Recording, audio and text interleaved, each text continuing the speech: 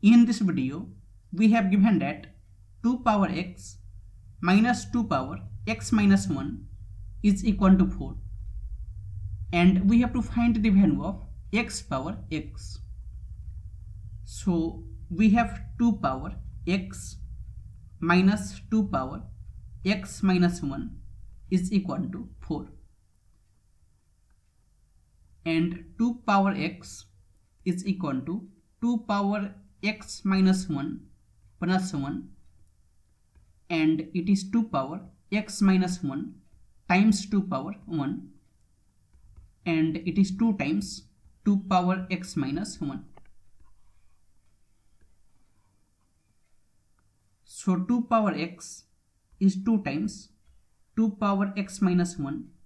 minus 2 power x minus 1 is equal to 4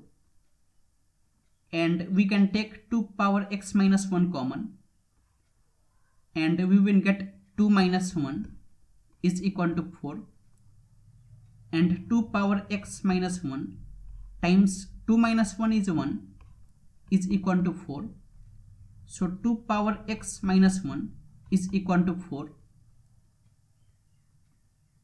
and it is 2 power x minus 1 is equal to and 4 is 2 square. And now we can compare powers of 2 so we will get x minus 1 is equal to 2 and x will be equal to 2 plus 1 will be 3 so x power x will be equal to 3 power 3 and 3 power 3 is 3 times 3 times 3 and 3 times 3 is 9 times 3 is 27 so it is equal to 27